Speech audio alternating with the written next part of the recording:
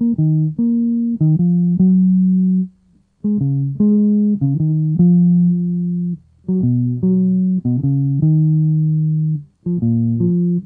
this is Carol Kaye. I want to wish you the very best for, for your radio show, the 20th year at 3SER Casey Radio in Melbourne.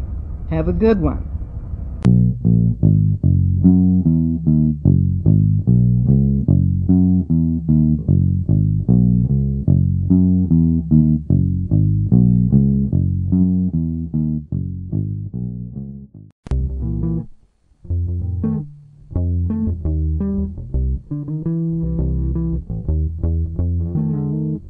Hi, John. This is Carol Kaye, the bass player of Good Vibrations, Feeling Alright, Mission Impossible, a few others. Uh, and I want to wish you the very best of, of your 20th year at 3SER Casey Radio in Melbourne.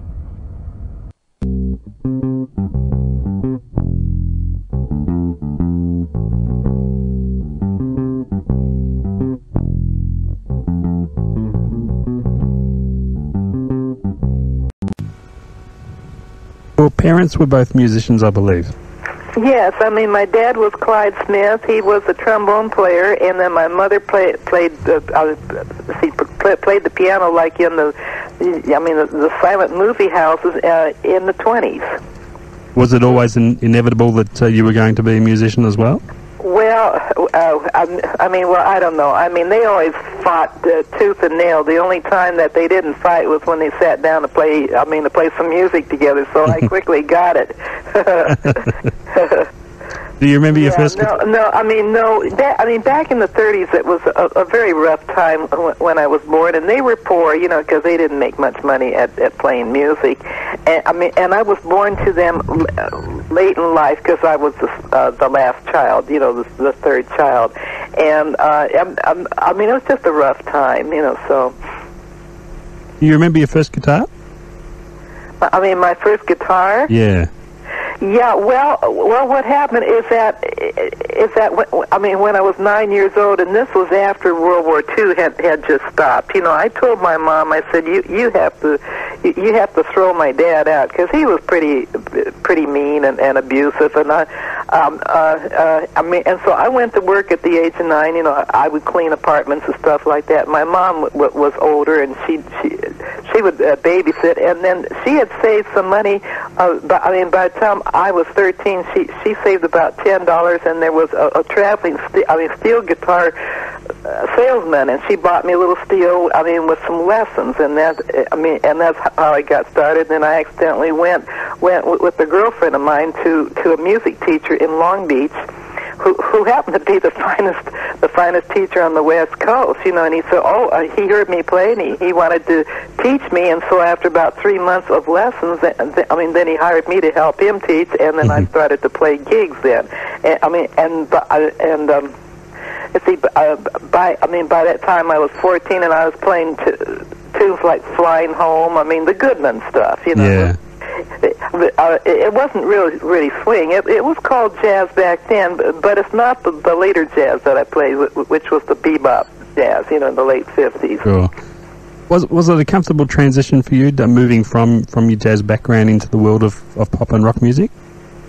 Well, what what happened is that uh, by, I mean, by the time that I had a chance to do some studio work, it was about 1957. See, and and the fellow that had put out uh, the Sam Cooke things. I mean, I, I'm not playing on Sam Cooke's first hit, but then I did some other hits with him. He asked me to do a studio thing, and I was playing bebop jazz. And, I mean, and I really did not want to go into studio work because I heard that it, if you go into studio work and you play rock and roll and all that kind of stuff, that you can't play jazz anymore. But I mean, but I had a family to take care of, you know, and, and I mean, and jazz just didn't pay the bills, even though I was working almost every night, you know. So, um, I mean, so I took the studio thing, and uh, and, and and then one by one, I got more more calls uh, with Ritchie Valens, and then with with, Righteous Brothers, and all all that kind of stuff. So, uh, I mean, so uh, I mean, it was no choice. You you either had to make money for your family, or you just starved. you know, so, so I mean, I mean, so yes, I like the music. I like Yeah. to do the, the the studio thing, and I'm not the only one from from jazz going into the studio stuff. You know, so. Okay. In later years when you were churning out all those pop hits, did you find yourself yearning for, for the jazz days? Yes, uh huh. But I mean, by '65, because by I mean by that time I accidentally got got the plane uh, f- I mean Fender bass when when somebody didn't show up in in in late 1963. So after about a couple years, I was getting tired of all the work and. and I mean, and there was an awful lot of uh, surf rock too, which, which was fun at first. But but you cut surf rock day and night for for a long time. You get kind of tired of it, and Yeah. I really miss the jazz days. You know, I mean, and so what I did, I cut a commercial guitar album, and uh, I mean, and I thought it had a little class to it, but I mean, but they picked the wrong cut to to, to I mean, to be played on the radio, and it got on the uh, uh, uh, on the Billboard charts. And I said, no, please drop the promo on that. I'll just stay in the studio work, you know. I mean, because I couldn't see my, myself playing uh, playing that song the rest of my life, you know. So. So I mean, so it was after that. Then I cut uh, cut a lot more stuff with with with Brian Wilson, uh, Pet Sounds and Smile and all that. You know. Sure. Going to talk to you about a few of the people that you've worked with. It'd be impossible to talk to you about everybody because there's just so many. But uh, tell us about working with Sam Cooke. Did, did you get to know Sam quite well? Oh yeah, well I played some live, uh, some, uh, I mean some live gigs. Who who who who was the A&R man was Bumps Blackwell, and, uh, and and Bumps was a jazz vibes player. You know, I mean, so he used all good players on that, and we did, did some live gigs with Sam too, and he was just a wonderful singer. It wasn't jazz, but I mean, but it was good music, um, uh, uh, and he was a happy man. I mean, he, uh, he uh, by that time, you know, he had some hits, and he was really thrilled to, to I mean, to make some money, and that's, uh, I mean, and that's the way we all felt. But, but, I mean, by the way, because I don't think anybody w- was born with a golden spoon in their mouth. You know, we, and and and uh, Sammy could really sing. I mean, he was a good singer. What was it like for, for other women session players in those times? Were there many around, or was it a difficult No, field for uh, women to break no. into? Well, you, you, I mean, you did see women who played in in jazz bands with the men back then, but not not in studios. No, you you, you had an occasional, uh, uh, I mean, lady who played the harp.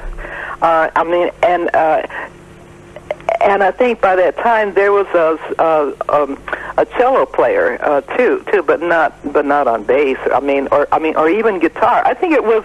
I mean, because I was a guitar player, why I started to do studio work. You know, because it was rock and roll, and they needed guitar players. So you would say the, the recording industry in those days was very much a boys' club type environment?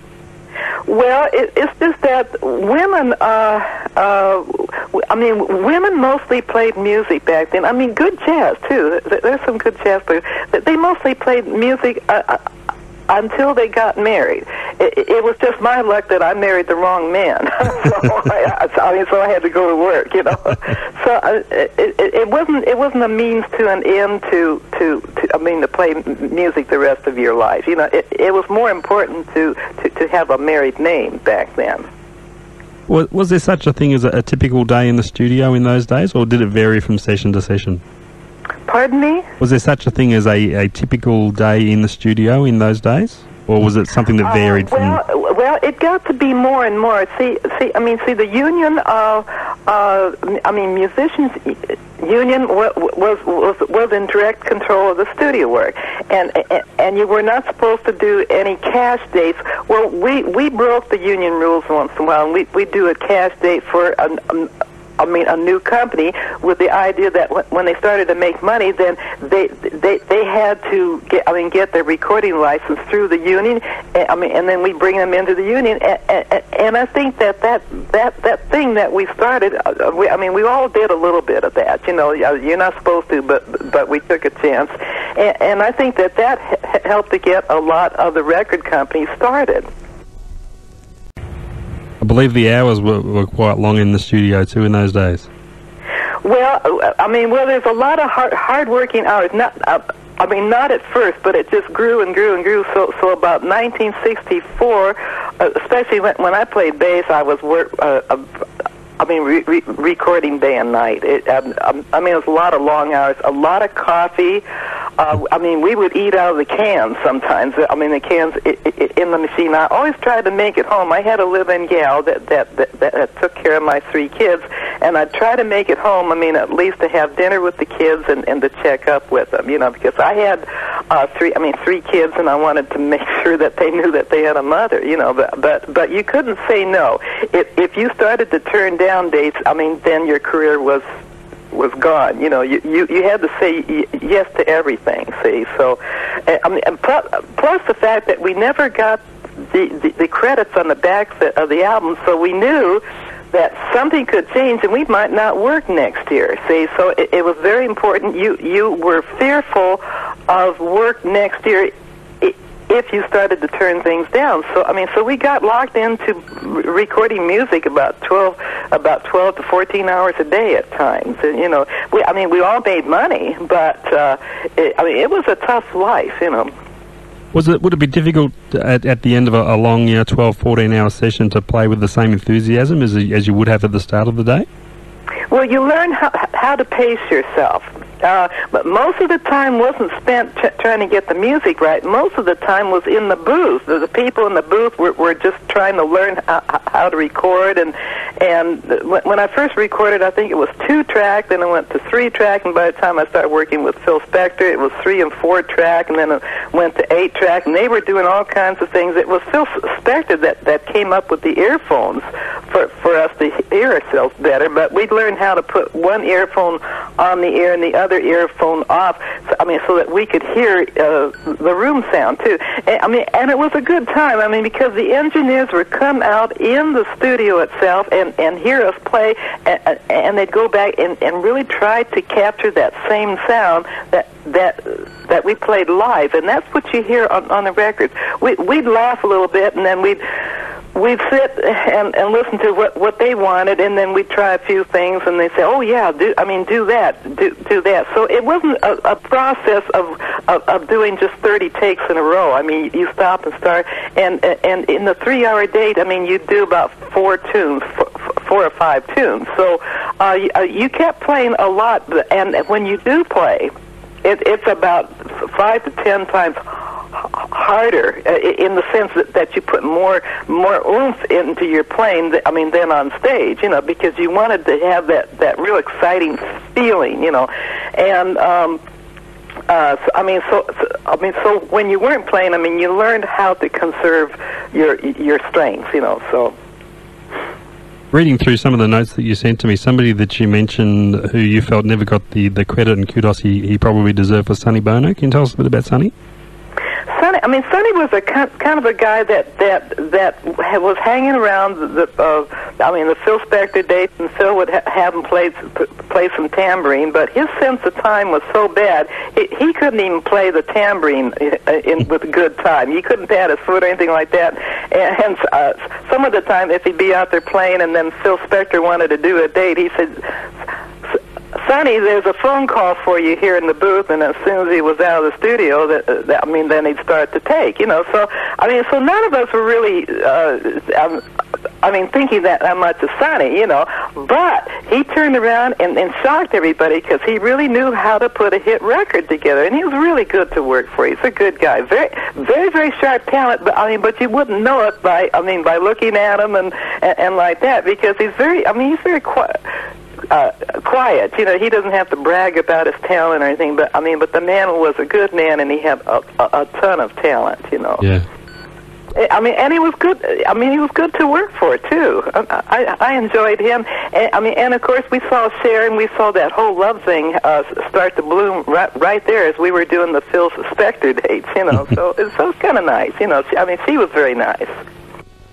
Was it frustrating at the time when you were playing on so many great hit records that it that it wasn't the common practice for you to receive a credit on on the record sleeve? You know something? It, it didn't matter to us at that time. It, it, it didn't matter if, if we got credit because that that's just the way of the world, and and we understood it because it was a rock and roll world, and and and, and if the people saw what what we looked like, I mean, we I mean we were integrated. By the way, it, it was whites and blacks to to record together, and back in those days, that wasn't cool. See.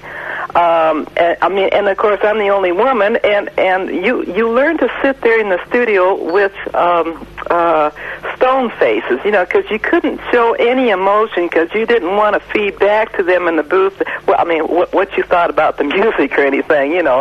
Uh, I mean, you you you were paid to do the job. You weren't paid to play. I mean, to to, to play music that you liked or didn't like. I mean, uh, uh, they hired us to, to to get a hit. So, I mean, just to get paid was just fine. I mean, we didn't care about the credits. It wasn't that important back then.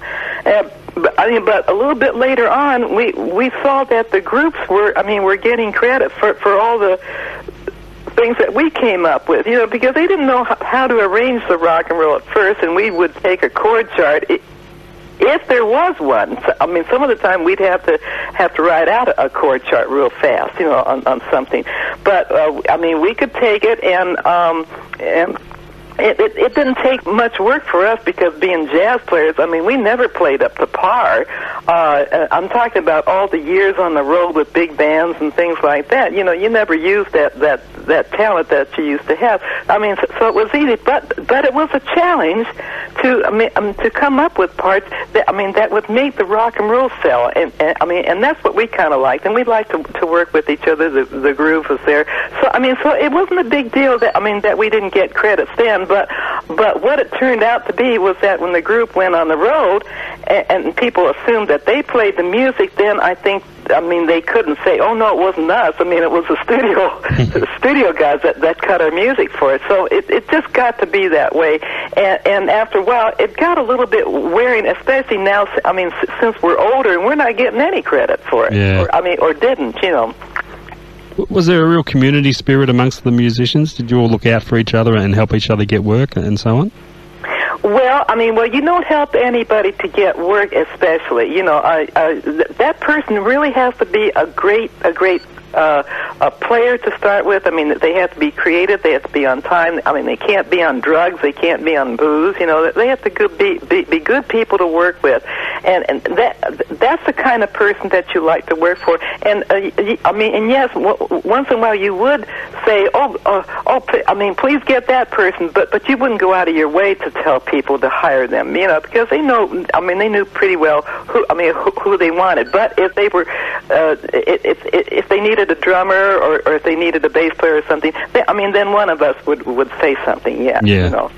But I mean, but it was very strict, and you you absolutely ha- had to be the very best i- in your field to work in the studios because it is a, a very intense life in the sense that when you're ready to play, it, it's like I mean, you you don't think a thing about let's cut that hit, you know, and let's play and and and get it done right, you know. And you have to be able to create and, and work with the people that can really do that. You know, and, I mean, and that's what what made it fun because we we would bounce off each other. We, we'd bounce ideas off each other, and we'd we'd hit certain grooves or something. And I mean, look at each other and smile and, and, and laugh. You know, I mean, we we enjoyed a lot of it. You know. Now, one session where your credit is well known was the, the Pet, Pet Sound sessions for uh, for the Beach Boys. What do you recall of those sessions? Working for Brian Wilson was, was always a, a, a blast, you know, because he was a nice guy. He, I mean, Brian knew exactly what he was doing, and, and every time we, we worked a day for him, he, he just got better and better and better, and we, and, and it was kind of exciting to see. I mean, what he was going to come up with because he, because he, he wrote the music. See, uh, he'd bring the parts in, and the stems would be on the wrong. Uh, side of the notes because he didn't have have the training to, to learn how to write. But I mean, but he definitely knew the music, and he'd sit down at the piano and, and play the tune first, you know, and then he'd retire to the booth, and and and we work on the track a little bit, you know. We, I mean, we never were there. I mean, when when they put the voices on, say it, it was always the tracking, and he he definitely knew what he was doing, you know. But but he he, he just like everybody else would fool around in the booth a lot, you know but uh, uh, but I'm sure that that people can hear the bootlegs of, about the way that he, he did the dates, and he was absolutely great. He was good to work for, and funny. I mean, he had a sense of humor. Uh, he got on one thing. uh, He, he said, play, "I mean, play a wacka wacka," and I said, "Oh yeah, wacka wacka," or something like that. It was just, I mean, just silly stuff, you know. Yeah. But, but I mean, but he was a, a he, he was a good guy to work for. He's the only one I did not have to create bass parts for because he he wrote the bass parts and they were great, and, and that's what he wanted. And I said, oh no, I mean no problem, I'll play them. Uh, and on the other days, I always had had to create bass lines, you know, like for everybody. Or, or if the part was kind of like written a little bit, I'd play and add uh, notes to the part. To, I mean, to make it sound better or to swing more. You know. Yeah. I mean, but with Brian, and I had no idea that. I mean, that he was a bass player because if I ever had the time, I played jazz on the radio. You know, be, be, being a jazz player, I'm not going to play. I mean, I'm not going to play rock and roll. You know. So, I mean, so, I mean, so I never knew that. I mean, that he was a bass player until a- after I, I stopped working for him, and I said, "Oh yeah, well that that that answers that because he heard bass in in a different place." Such a large number of credits uh, that, you've, uh, a large number of sessions that you've played on over the years. Is it hard for you to keep track of them all? Do you sometimes hear an old track on the radio and totally forget that you you actually played on it? Well, yeah, I mean, th- there's a lot of stuff, but there's something that you hear that I mean that fe- I mean that that that I mean that gets a certain feeling that you know it's you. You know, it's your sound or your feel or the line that I mean that kind of clicks in, and you know it's you. Um, I mean.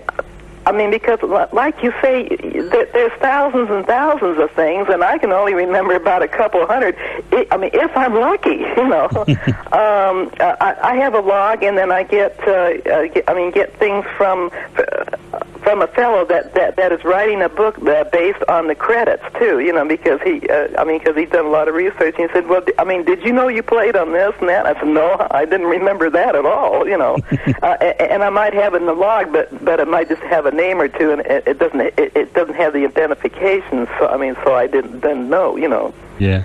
Uh, it, it's nice to hear those things because it, it wasn't just me and it wasn't just drums and it wasn't just a solo or the singer. It, it's the whole band together, and you liked each other so much, you know. And uh, I mean, and those were good time. I mean, good times together. Even if I was the only, oh, I mean, woman on the date, I, I, I mean, the guys treated me, I mean, like another guy, and they thought of me as, as another guy too. And, and it was nice because you're working with the best players, and I mean, um, I mean, some of the, the dates, I mean, like on the Ray, Ray Charles dates and everything, I'd be the only white person there, and that was fine too. In fact, in fact, it really just just, just made the day for, for me, you know, because when I played bebop jazz, I a, a lot of the times I was even a white person in the club too, and this is back in the days when when. Uh, when, I mean, when you had the riots and all that kind of stuff. But but see, but in the music business, what whites and blacks, I mean, ha- ha- have always worked together very well. You know, and, and- it was a good time to to play music back then. You know, it was uh, a, a, a very exciting time back there when, when rock and roll was brand new, and uh, uh, I mean, there's a certain amount of honesty to it too back in the '60s. Did you eventually develop a preference between guitar or bass? Well, I mean, each instrument is, a different instrument. You know, I mean, when, I played the jazz, I mean, I really loved to play jazz on, on guitar, and and a little later on, I played jazz on bass too. But but I really have that instrument as as my jazz instrument. You know, and the bass is fun too. But I mean, but I felt like I, I played more soul on on the bass. I mean, than I did on guitar. I I I, I couldn't play uh, rock and roll guitar. I played little licks and stuff like that, you know. But I mean, but I wasn't a soloist. I mean, like Glen, I mean Glen Campbell or, or I mean, or Billy Strange, you know, because those two guys were, I mean, were the ones who, who, who I mean, who did the rock solos and, and great stuff too, and, and, Howard Roberts did too. So um, yeah, I mean, e- each instrument ha- has its own uh, thing, I think. Any particular sessions that were perhaps little more difficult to do, where you've worked with an artist or producer that was uh, particularly difficult to work with, or where things just didn't go right?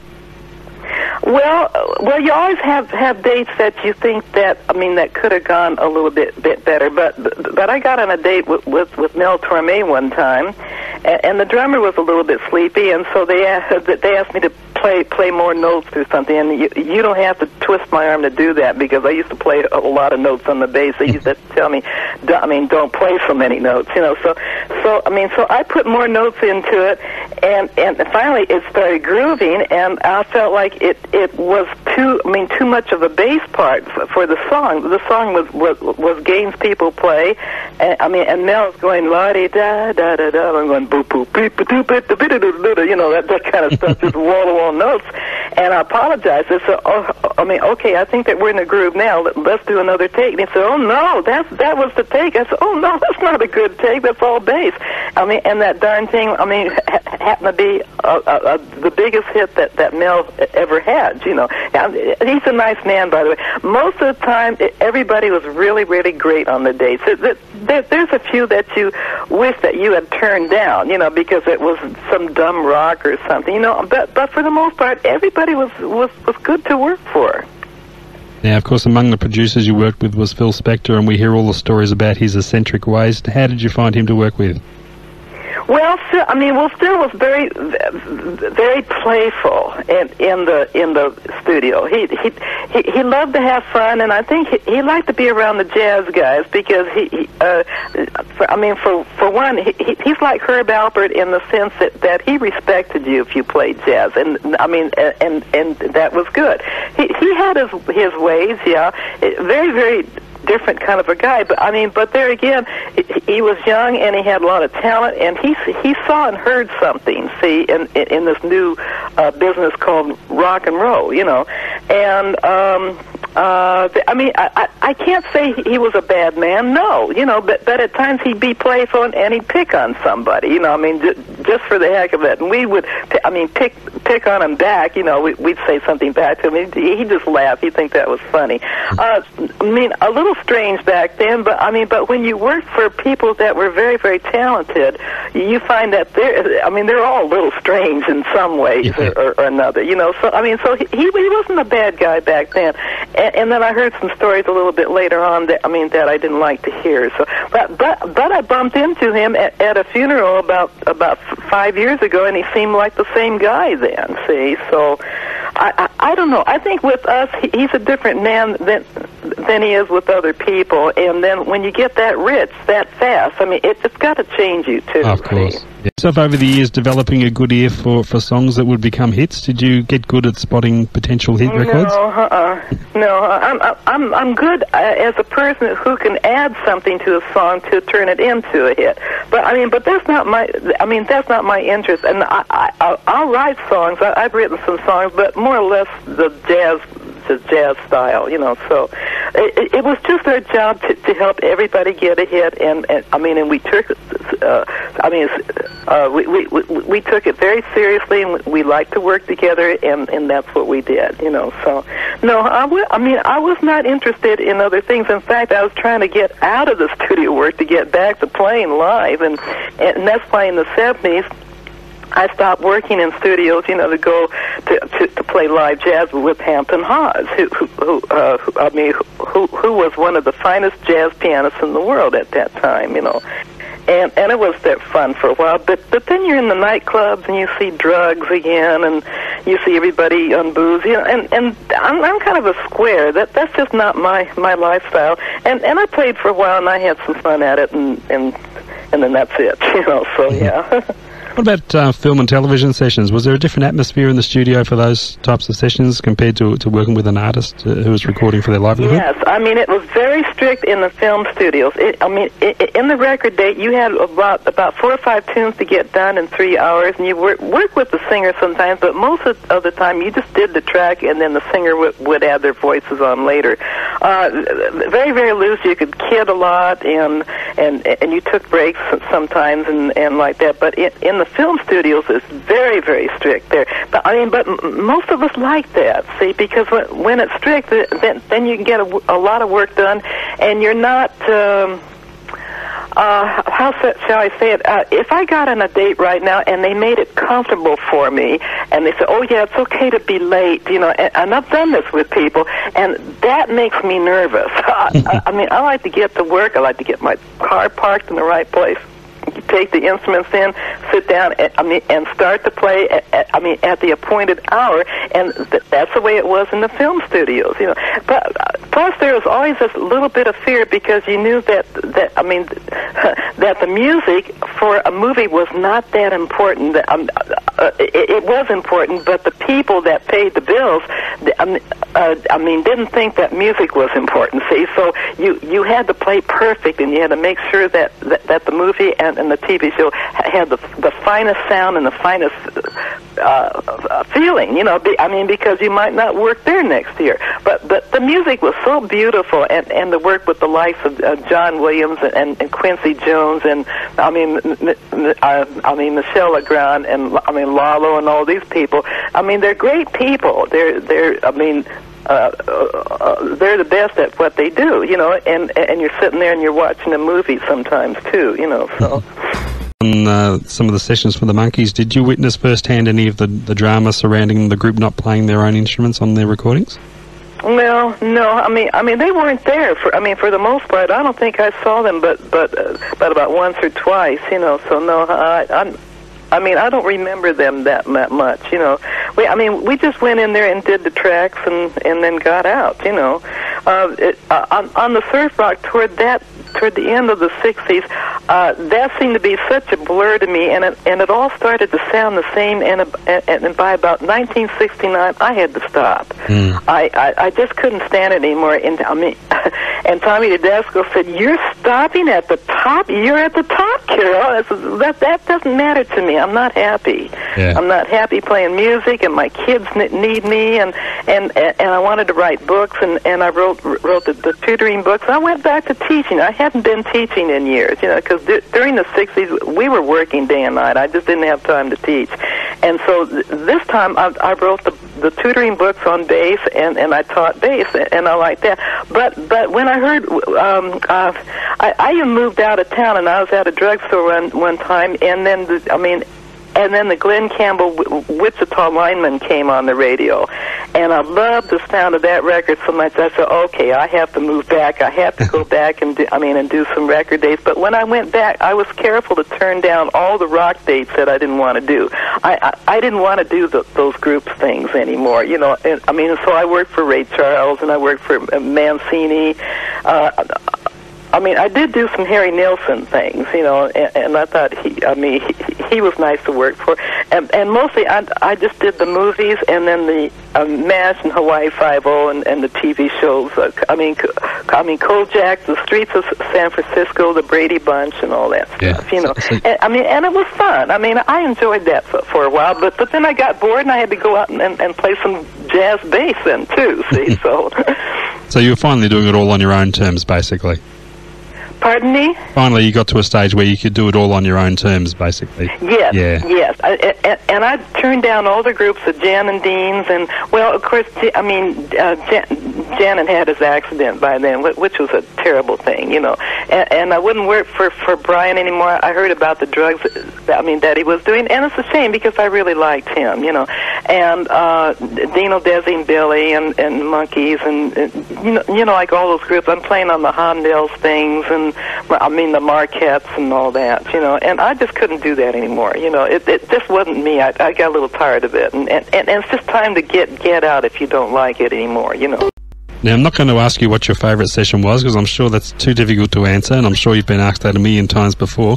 But are there any? Feeling All Right is one of my favorites, you know, and I mean, and, and of course, a, a lot of the Brian Wilson things. I like the, I mean, the the, the Barbra Streisand, the, uh, the, I mean, the way we were. I, I, I like to do that. They, I mean, even though it took 33 straight takes on that, you know, and it was done live, and they kept telling me, don't, don't invent any bass parts, you know. So after the 30, uh, so on the 33rd take, I said, I'm going for it. I'm going to add some bass notes to this. It's just laying there like a dead dog, you know.